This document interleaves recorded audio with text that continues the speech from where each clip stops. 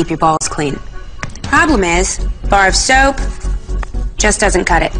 See? Still dirty.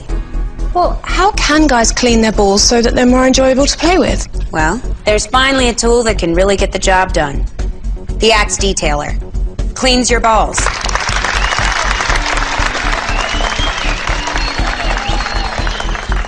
Why don't we start with these small balls? With a soft side for lather, rough side for scrubbing, this can make any ball sparkly and new. Go ahead and play with those clean balls, Denise. Wow.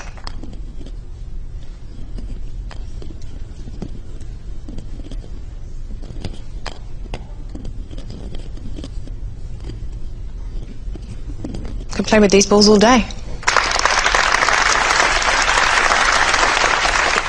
Let's see if the audience has any questions.